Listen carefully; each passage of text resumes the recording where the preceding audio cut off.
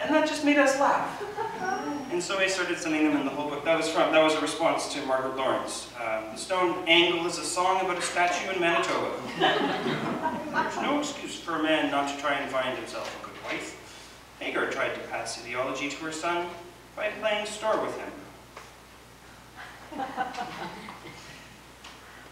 So I'll read a few. I'll read a few selections of these. Maybe um, I'll start with the.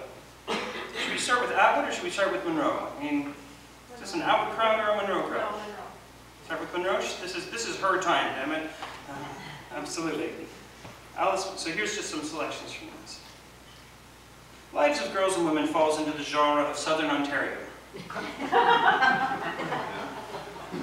this is actually a subcategory of the main genre called real.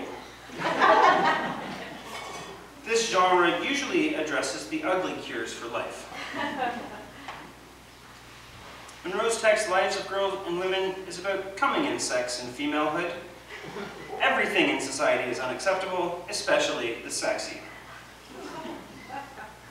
When the text is as ambiguous as its author, we have to assume that we are reading Alice Munro, and not one of her characters.